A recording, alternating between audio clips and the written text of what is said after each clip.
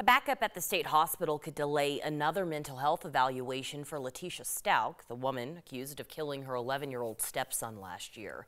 Stauch had a hearing today, which she did not attend in person. She appeared virtually and claimed she couldn't be in court because she hadn't received medication in five days. Her defense team says she has some sort of dissociative order, but did not get any more specific than that. Stauch is accused of killing Gannon Stauch in January of 2020 and driving his body to Florida. She has been found competent to stand trial in two separate evaluations so far. So this evaluation would specifically address the actions she's accused of after Gannon's death. The judge at today's hearing said at last check the wait list at the Colorado Mental Health Institute in Pueblo was more than 350 people long.